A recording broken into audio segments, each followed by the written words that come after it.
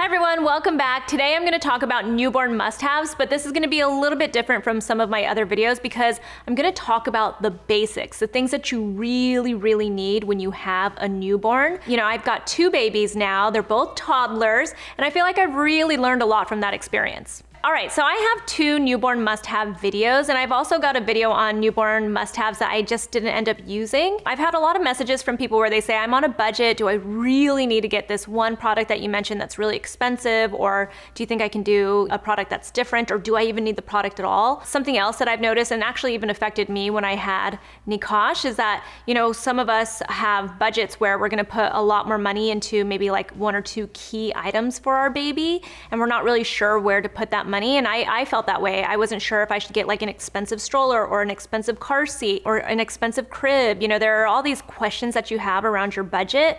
And then there are people that just want to have the very bare minimum for their baby, which I fully appreciate, especially after this year. I've, you know, like being home all the time. You don't want your house to just be covered in baby stuff. So you want to pick out the things that you really, really need. When you think about what a newborn needs, they really just need to eat, they need to sleep, and they need to feel a little bit of love, obviously, from you. And obviously, they need to pee and poop. So that's really the way to think about the things that your baby needs. But then there comes you. And I think a lot of the time when we're thinking about the things that we need for our babies, it's the stuff that will help us, right? So it's the stuff that's gonna help free up our hands or give us a chance to go eat or use the restroom or take a shower or go for a walk, be able to clean up around the house and stuff. So when it comes to the stuff that we need for our babies, there are just like four basic categories the eat, sleep, pee and poop for your baby, and obviously stay warm and everything. And then there's the stuff that will help free up your hands. All right, so let's get into the products. First would be a car seat. And the reason why I start with a car seat is because this is the item that you need to be able to take your baby home. A lot of the stuff like the diapers and all of that, you'll get from the hospital if you really need it. So those first few days you'll you'll manage, but to even get your child home, you have to have a car seat. So car seat is really important and it can be so confusing because there are so many car seats on the market. The thing that I would say is to definitely look up reviews. You don't have to buy an expensive car seat because they should all technically be very safe for your child and be able to protect your child. The thing that you need to keep in mind is that some car seats can be really heavy. So if you're getting like an infant car seat where you're carrying it around, that might be heavy. So you might want to look for reviews that say that the car seat is light. You want to hear that the car seat is easy to use and to install because that can be really stressful if it's your first baby especially. You're kind of like, oh my gosh, how do I install this car seat? Is this going to be stressful every time I'm trying to install it? So keep that in mind as well. And you want to know if you can use it with your stroller for a lot of parents. You saw that I recommended the Doona, and that's because it's an infant car seat and it's a stroller in one. It's actually really heavy, but because it has the wheels, you're never really carrying it, and that's what I really enjoyed about that car seat. It also, for me, uh, we're still using it for Isla, for instance, and she's already past a year. You're eventually gonna move your baby to a convertible car seat, and here's the fun fact about these convertible car seats is a lot of them can be used with your newborn. So you need to just read a lot of these reviews and everything, and you need to learn a little bit about the information because some are made for newborns and some are not. So it's really about about finding the right car seat for your baby and what works within your budget. But keep that in mind when it comes to an infant car seat is that, you know, there's only a small period of time that you're gonna keep your baby in it. And if you've got a larger baby, then your baby's gonna be in it for a lot shorter time. Speaking of the car seat, this might be to some people not a must have, but this one is for me, especially again when you are a new parent, like you're a first time parent, the car seat mirror matters. The car seat mirror is really important because you want to be able to see your baby. I've never been so stressed out before than the first couple of times I tried to take Nikosh out, you know, in a car ride all on my own. It was one of the most stressful experiences. I stopped several times to just like pull over to the side, make sure he's breathing, make sure he's okay. And I found that having a mirror really changed everything for me. You just wanna make sure it's a safe mirror. It's approved to actually be safe for use with a baby. And the reason I say that is because not all of them are made for that or not all of them are really approved. You know, you just wanna make sure it's going to stay on and not actually fall on your baby or go flying if you do get into a little fender bender and maybe even conk you in the head. You just wanna make sure it's a safe mirror, but a mirror will be a game changer. We still use a mirror. It is still in our car. It's been going for three, four years now since we had Nikosh. So the mirror is very important. It's a must have that I think everyone should get. Next up is a stroller. So I don't 100% think you need a stroller. If you're not gonna go for walks, then you obviously don't need a stroller, especially if you have a car seat. If you're gonna be out and about and you don't really think you're gonna use a stroller, you might end up going with just a carrier, which is a product I'm gonna talk about next. But the reason why I say to get a stroller is because it's probably better for you. And I say that because you know, in the beginning, again, if you're a first time parent, you might want be one of those parents that gets a little bit anxious to take your baby out. But I really encourage you to try to go for walks. And the way that you're gonna do that is with a stroller. I prefer to have a stroller that has a bassinet in it. That way the baby can actually go to sleep and I feel safe with the baby sleeping. It's a comfortable experience for my baby. I found that Nikosh hated his first infant car seat that we got him, so he wouldn't sleep in that at all. But as soon as I got a bassinet stroller for him. He slept in that and he loved to go for walks in that for the longest time. So, you know, you also have to test things out with your baby, but I prefer to have a bassinet. The thing that you should look for with a stroller is that it's versatile. One, you wanna make sure that you'll be able to use it with your newborn and then also with your toddler. So you wanna be able to have a stroller that you're gonna be able to use for a few years. You wanna make sure that it is light. I know that that might seem obvious to some people, but it wasn't obvious to me when I first started looking for a stroller. Our first stroller was so heavy. You don't have to worry about whether it's gonna handle a lot of different terrain, unless you obviously live in a place where you're gonna be going up and down hills and bumps and maybe like dirt roads or whatever it is that you have to deal with. But in a place like Los Angeles, we have sidewalks everywhere and there really isn't much to deal with. So what's been more important to me is that it's light. So you want it light for two reasons. You want to be able to put into your car really easily. And two, you want to be able to have your hands free. Like, and when I say free, you want to be able to like have one hand on the stroller if you need to and be able to like use your other hand. And if your stroller is heavy, it's even harder to push it. So you want to make sure that you've got a very lightweight stroller. There are some strollers out there that are really large and can handle a lot of terrain that are also very light and easy to push. If you're gonna use your stroller with your infant car seat, you wanna make sure that the stroller is actually compatible with it. You also want to make sure that this is a stroller that you're just going to enjoy. Think about your own habits. Do you travel a lot? Do you, you know, want to be in your car a lot with your baby and taking your baby on little road trips or anything like that? Are you going to go to the mall, which we're not doing really right now, but in the future, are you going to go to the mall a lot and want to have to take your stroller with you to the mall or to the grocery store or anything like that? It's really how does a stroller fit into your life? If you're just gonna be going for walks around the neighborhood, then you don't need this intense stroller. You just need something that's gonna be easy to, I guess, walk around with. So there are a lot of things to think about with a stroller. I personally think that this is a place where, you know, if I have a budget for one thing, one really nice thing, the stroller is one of those items because I have found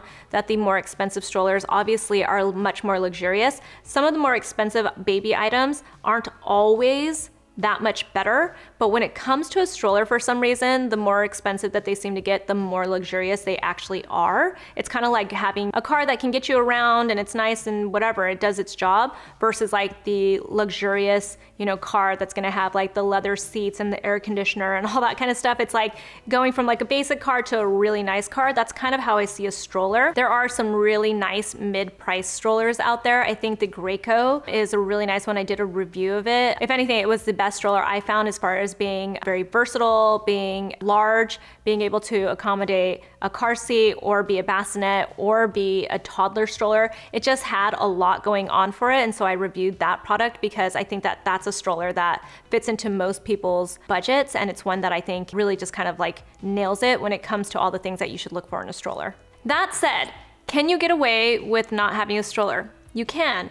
That's because I also think that carriers are really important. And I'll tell you why. One, especially these days, you really don't want people to touch your baby. There's something that happens when you are out and about with your baby. There people love babies so much that their instinct is to be like, "Oh my gosh, a baby." And you see their hands reach for your baby. It happens all the time. Nobody means to be a weirdo, but they become weirdos. We as human beings just really like babies.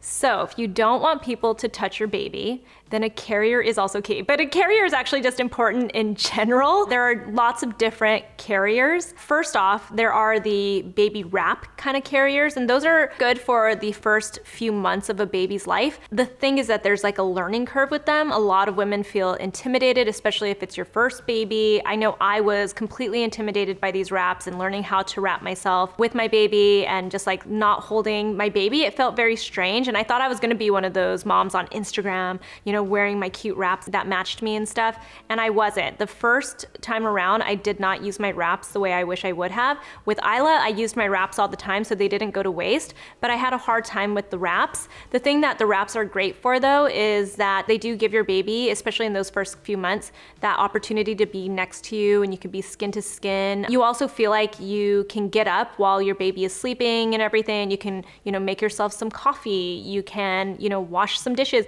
maybe make a snack for yourself, maybe just walk around the house a little bit and stretch your legs without having to use your arms or even if you just have like one hand up because you, you know, you still feel like you want to brace your baby but have another hand free, it's really helpful to have the carrier because it helps you with just that closeness and you know that your baby's not going to cry. What I will say is the first couple of times you use it, you might actually feel like your baby cries even more, but I feel like it's really about getting used to it. Put your baby into it, make it a little bit tighter than you would think, make sure your baby can breathe. Obviously, they have this rule. You should be able to kiss your baby's head when you're wearing it, and if not, then your baby's probably sitting a little bit too low. Your baby might cry. Get up, walk around, try to ease them into it and soothe them. And once you get them used to the baby wrap, your baby will love a baby wrap. But if you don't get past that, you won't ever use it. So that's just something to know. One of my favorite types of carriers right now is the ring sling, but it had the same kind of situation. I was in that same situation as I was with the baby wrap in the beginning.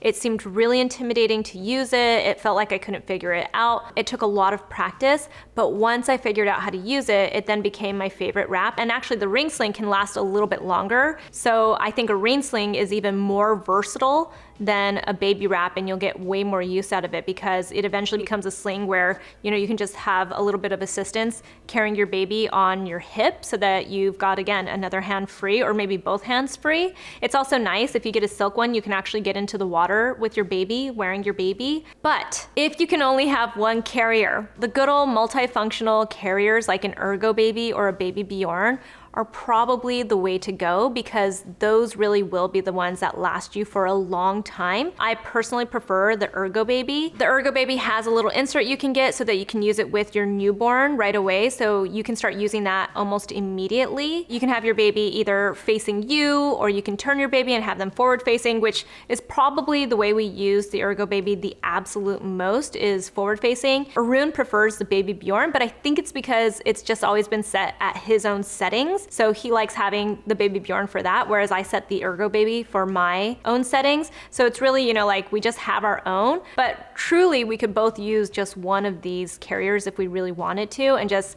have to go through the adjustments and everything. If you can only like spend money on one carrier, those are the carriers that I would say to invest in because those are the ones that you're gonna get the most use out of. All of them have their own purposes, but if you can only get one, definitely get something like the Ergobaby. The next item that is absolutely a must have is a place for your baby to sleep. And I wanna be broad and general with that because I know a lot of people will suggest that you buy a bassinet for your baby. And I personally think that bassinets are some of the most like useless products that they sell for babies out there. I got one of those Halo Bassinester, I think is what they call it, but it was one of those Halo bassinets that are supposed to pull up next to your bed and everything. I found it to be big and bulky and basically a, a, product that I did not use for Nikosh whatsoever. For Isla, we got a snoo, but we weren't using it because it's a bassinet. We were using it because it had the function of being a snoo, and that still didn't really work out for us as well. I wasn't that committed to using it though for our second baby, so I always give that caveat because I know a lot of people love the snoo. You know, these bassinets ended up becoming kind of like useless big items in my house, and I didn't use them at all. What we have used instead is a crib. The reason why you go for a bassinet is because it is smaller and if you're going to have it in your room, it's an easy way to get your baby in the room. But if you can fit a crib into your room, a crib serves the same function if you really think about it. People think that a bassinet is gonna be a little bit cozier for a baby potentially, but when your baby is a newborn, your baby doesn't really move around at all and you're probably swaddling your baby if you are having them sleep on their own. So if you really think about it, your baby doesn't know whether they're in a bassinet or in a big crib. The, the thing is, is you just want a place where your baby can sleep. Another thing that can be very versatile, I know a lot of mamas love it is like a pack and play. And that's because it comes with like a bassinet on top that you can lift off and then eventually put them into what's more of like a crib in the bottom area of it. So if you want something that's a little bit more versatile but still small, that can also be a good option for you. But really, if you can only get one item, I would say get the crib. You know, your crib is going to be with you for a very long time. Presumably, you know, you're going to have your baby in there until they're like two or three years old, as long as you can keep them in the crib and they're not, you know, like Nikosh, where he was climbing out of the crib pretty early on. Isla, I have this feeling that she's just going to be in her crib for a very long time. And I'm really happy about that idea because she just seems like she's very content with being in her crib. Since we just talked about a place for your baby to sleep, I also think having one extra place to put your baby baby down is very important because remember, like I said in the beginning, you want to be able to have, you know, that versatility where you can put your baby down, even if your baby's unhappy about it while you go use the restroom, you want a safe space for your baby. If you don't have a dog or if you don't have another toddler, you can technically just put your baby down on the floor, like lay a little, you know, blanket or a mat down, put your baby down for a second because they don't go anywhere until they are crawling. And then you can go, you know, to the bathroom or something. But I had a dog this whole time. I now have a toddler. So that was just never an option for us. So having a place to put your baby outside of the crib. If you're in like the baby's room and you can put them down in the crib and go use the restroom, that's helpful, obviously. But if you're like in the living room or you want to cook some food and you want to be able to like see your baby from the kitchen or something, you need something, some place to put your baby down other than the crib. I think like of all the baby must-haves that are out there, there are so many of these types of products, but you really only need one and it's about finding the one that works for you. So they can range from anywhere between like a boppy lounger. You guys have seen me with a boppy lounger. I loved a boppy lounger. It was fairly inexpensive. I think they're like $25, $30. It's like this huge cushion with a little indentation on it where you can place your baby on the sofa or on the floor, anything, wherever you want to put it, but it's a nice big cushion for your baby. It advises you not to let them sleep in it. We would let Nikosh sleep in it if we were with him the whole time. So while we're watching him, while we're watching TV and stuff, it's just nice to be able to like free up your arms and put your baby down while they're sleeping or even while they're awake and they're just sitting there playing with like a toy or something. It's a nice little place to put them. With Isla and Nikosh, we also really loved having a swing. It wasn't cheap, but it wasn't the most expensive item that we purchased. I think it was like 99 bucks. The swing was really kind of like the key product that helped us you know, calm our baby, get them to fall asleep when we had tried everything else. So that was also really nice. But you, again, you don't necessarily need it to be a swing. That just really helped us. We had one of those baby Bjorn bouncer chairs. That was really nice. Isla liked it more than Nikosh did. There are obviously devices like the Mamaroo, but the point is to get something that you can put your baby down in. Next item, muslin swaddle blankets. And truly it's just swaddle blankets in general. I just bought a lot of the muslin ones, specifically from the brand Aden and The reason why I say swaddle blankets are amazing and a must have, especially even when it comes to like the basics, is because they're versatile. They do so much more than swaddle.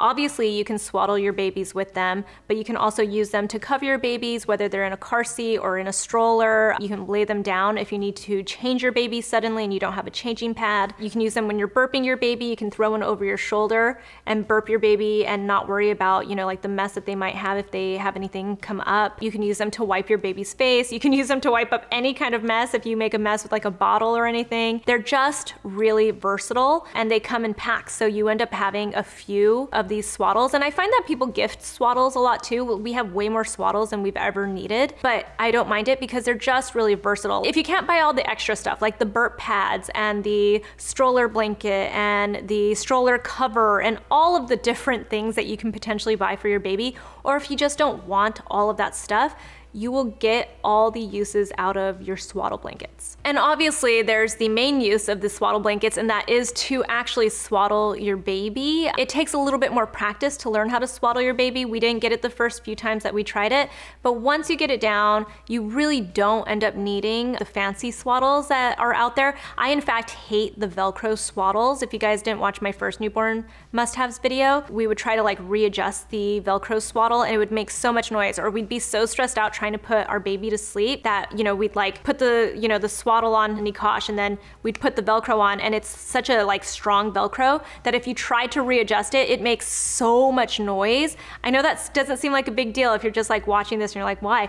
Wait, if you have a baby that you are trying to like get to sleep and calm down, the last thing you want is anything that makes loud noises. Anything that's like a startling noise, you're like, no, why? Curses. Like you just, it's the worst thing. So I hate those kinds of swaddles that have the Velcro. I was more into the Miracle blanket. That was our like savior when it came to swaddling because we couldn't figure it out.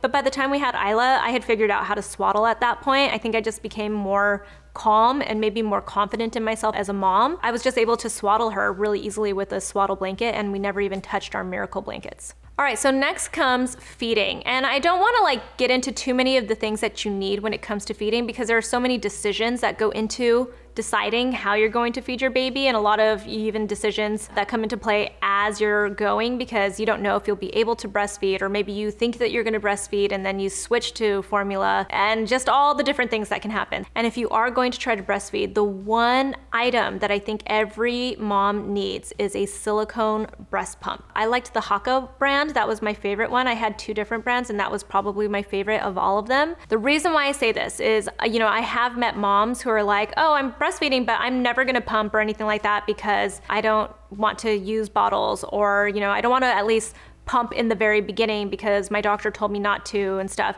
But I'll tell you something a silicone breast pump is really nice to have, even in the beginning, even when your doctor said not to pump, because it will help to relieve you. Because in the beginning, especially, your boobs get out of control, they haven't regulated yet, you start to leak everywhere, sometimes your baby's not eating or latching, and you get really stressed out about it. So you need something that can help relieve you. Or even like, you know, you've got your baby feeding finally, but then your other boob is leaking all over the place.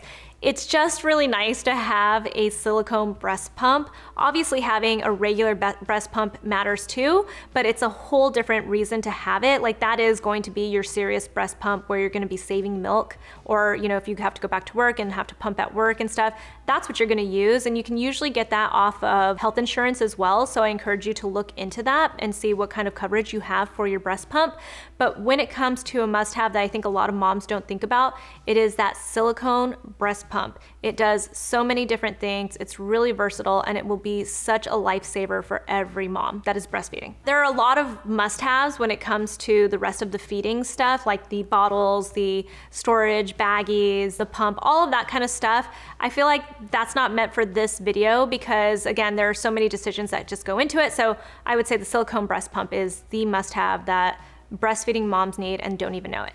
But since we're on the topic of feeding your baby, a high chair is also a must have. Obviously, you're not gonna use a high chair until your baby is maybe like four months old at the soonest. You know, it might be one of those high ticket items that you want on a registry, so you're thinking about it already. The thing that I, I have figured out about a high chair is that you don't need an expensive one. And expensive high chairs don't necessarily mean that they're going to be better. It is not like a stroller.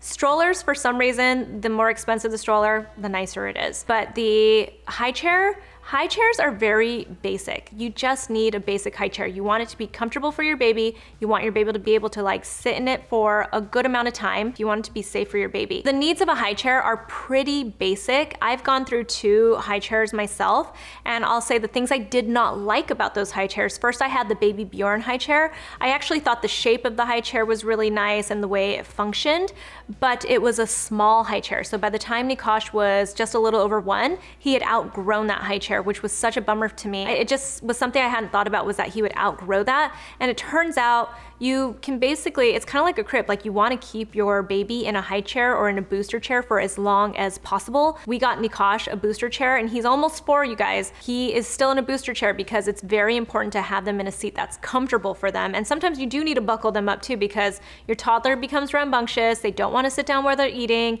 It becomes a whole show if you do not have some place to buckle your child in, even as a toddler. So you want your high chair to be able to grow with your with your baby.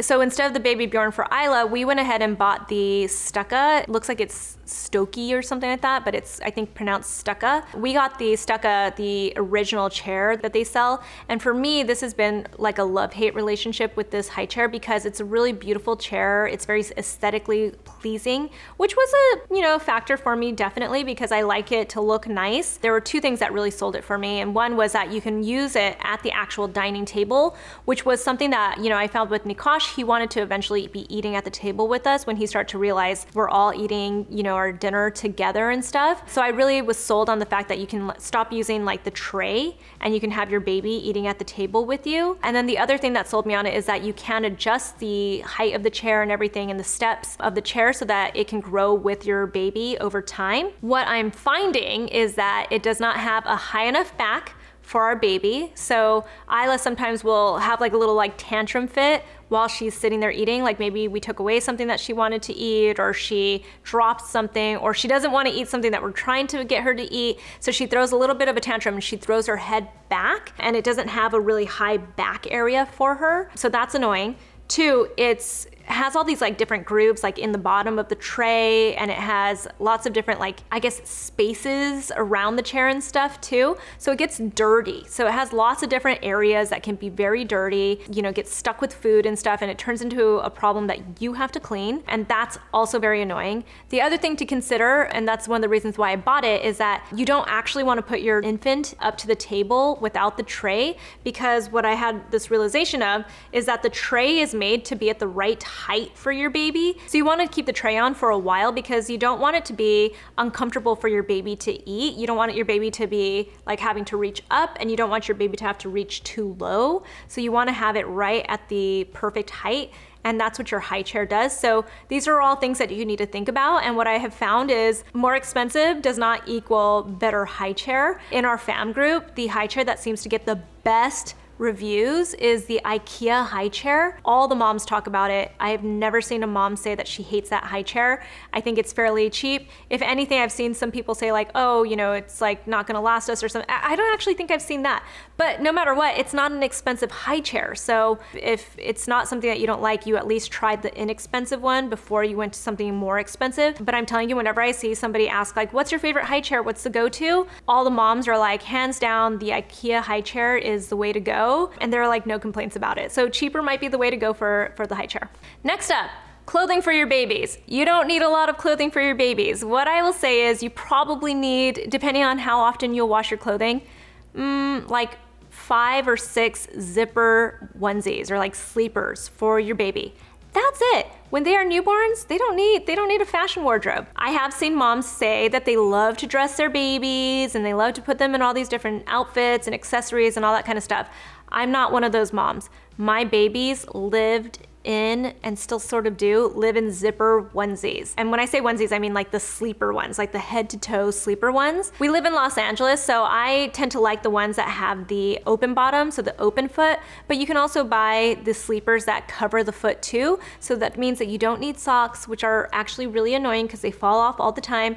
I had comments about the last time I said that where people are like, that means that you're not using the right socks or whatever it is. I find socks to be very annoying. I find anything that you have to put over a newborn's head to be also equally annoying because you're also freaked out about the baby and you don't want to have to like deal with it. Zipper onesies are the most convenient. They're the easiest. Well, and you, you also saw me like use the magnetic ones with Isla, but before the magnetic ones existed, there were the zippers, and I still use a lot of the zipper onesies to this day. I like the magnetic ones too, but they're a little bit more pricey. You don't have to go that way. They don't save you that much more time or energy. The zipper ones do. They are the only sleepers that I buy for my friends, like when it comes to like their baby showers and all that kind of stuff. The zipper onesies are so much more convenient. They're easier to use you don't want to be in the middle of the night trying to button up onesies on your baby because you're tired your baby is freaking out because your baby's tired. It's likely dark in the room, so you can't even see. The zipper will be a game changer, changer for you, and you don't need that many of them. The next item that I think is a must-have that, um, you know, some people might argue with me about this one. Obviously, everything is very personal, but I find to this day, it's still important, and that is a sound machine. So if you think about what I said in the beginning, it's all about sleep, right? Sleep, eat, poop, and pee. Those are the things that your baby needs and the things that you need. And you need sleep as well. And one thing that will definitely help your sleep is a sound machine. A sound machine is the best thing you can get for your baby's sleep, besides a dark room and a place for them to sleep.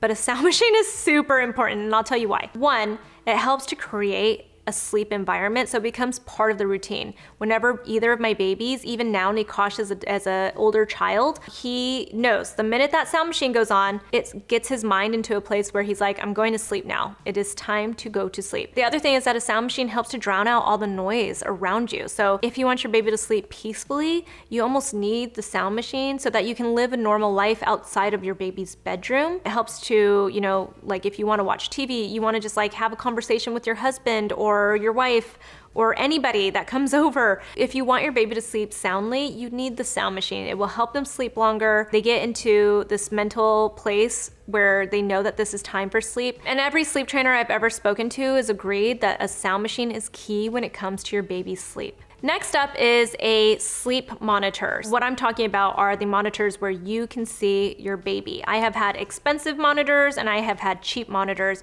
And I'll say this is another place where you don't necessarily need to spend a lot of money because they will all annoy you. Every single one of these monitors will annoy you. The more expensive ones just come with a few more bells and whistles. I think that make it more worth it. I definitely think that at the end of the day, they're serving one purpose and it's kind of like the mirror in your car. You just want to be able to check on your baby. So no matter what budget you have, I think just having a monitor will really help ease your mind and let you know that you can leave your baby alone in the room and go, uh, you know, like have them go to sleep and be able to like step away for one second to go to the living room or the kitchen or to another bedroom. Isla is just over a year now and I'm still using a monitor because I still watch her. And even with Nikosh, we use a Nest now where we watch his room, but we're still using it to watch him because we want to be able to check on him if we hear like a sound upstairs or something like that. So having a monitor is a big deal. The Nest doesn't really serve the same purpose as a monitor for your baby because a baby monitor is better for staying on at all times, whereas like the Nest, we have it more so, so that we can check it when we need to. The thing I didn't like about our cheap baby monitor that came with like lots of good reviews and everything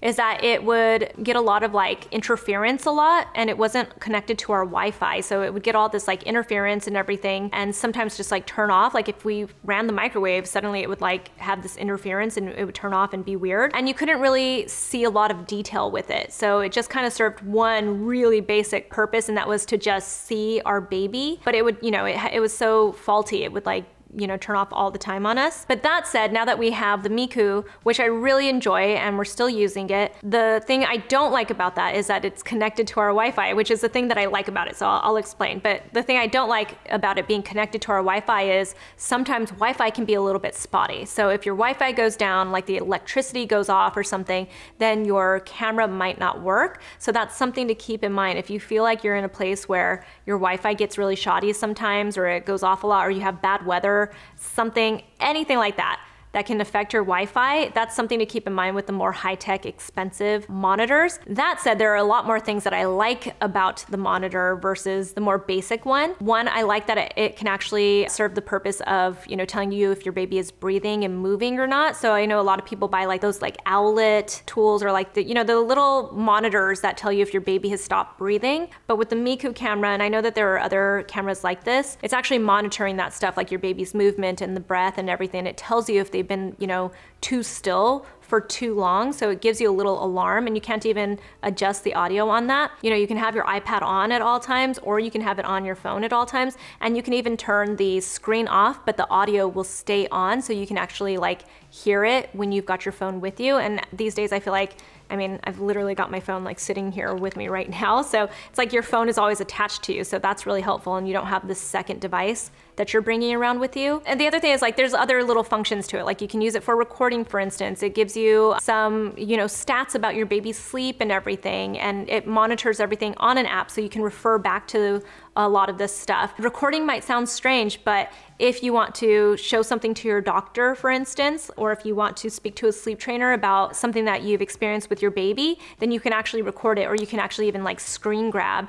and record that session of your baby and be able to show it to your pediatrician or sleep trainer and stuff. So I think sometimes you don't consider that, but it's really important to have that kind of footage to be able to show a pediatrician. And then one of the last items that I think is really important to have when it comes to all these like little gadgets and accessories and things that you can buy for your baby, the one that I think is the most important is a thermometer. There's so many different little accessories and things that you can buy and gadgets that you can buy for your baby, but the one that we use the most and still use the most is a thermometer. If you feel like your baby is getting sick, the first thing your pediatrician is gonna ask you is, does your baby have a fever? It's like first and foremost, the most important thing that your, baby, your doctor is gonna ask you. And if you can't figure that out, then you're gonna have a really hard time. You're gonna find very quickly that you need a thermometer. Our go-to is one of those little digital thermometers where you don't have to put it into the baby's mouth, you don't have to put it into their butt, you don't have to put it anywhere. You just hold it up to their head. You can put it to their forehead. What our doctor showed us was to maybe like hold it up to their neck and ear area because you can get a better reading there. And it's been the easiest way to be able to tell if they have a fever or not. And you know, like for the most part, seems like it's failing you a lot of the time because you just assume your baby is just so sick they have to have a fever right now. They feel warm to you, and it seems like they don't have a fever, but you'll find when they really have a fever, the digital thermometers are exactly what you need them to be. They'll tell you if your baby is too hot or not, and then you'll be able to communicate that to your doctor because that's truly what you're paying attention to when your baby gets sick. Do they have a fever or not? That's going to be the most important thing. So those are all of the basic, the basic baby must-haves. I'm sure somebody can watch this video and be like, they even need less than that. Or somebody can watch this and be like, no, I don't agree because it's all very personal. The way you raise your baby and care for your baby and the way you live your life, everything is personal. And you'll find each of your babies can be very, very different. Nikosh and Isla have been completely different baby experiences, but these were the products that I found that we truly needed. They were the ones that were the most helpful for us. And when it came to Isla especially, I did use, you know, less products, but these were the ones that I definitely used the most with her. And I had this realization that half the things that I was using with Nikosh, I didn't end up needing, more so because I was probably a little bit more confident too as a mom the second time around, but also just because I realized I didn't need a lot of the stuff that I had. And so so we got way less with Isla. We used a lot of the stuff that we, are, we already had with Nikosh, and that was all that we ended up needing. If you guys have any questions, you can leave them in the comments below. You can even list out what you think are the basic must-haves, or tell me if you agree with this video so you can help other, you know, new moms and dads out there that are trying to figure this out. Uh, you can find me on Instagram. I'm at Susan Yara, and I'll talk to you guys soon. Bye.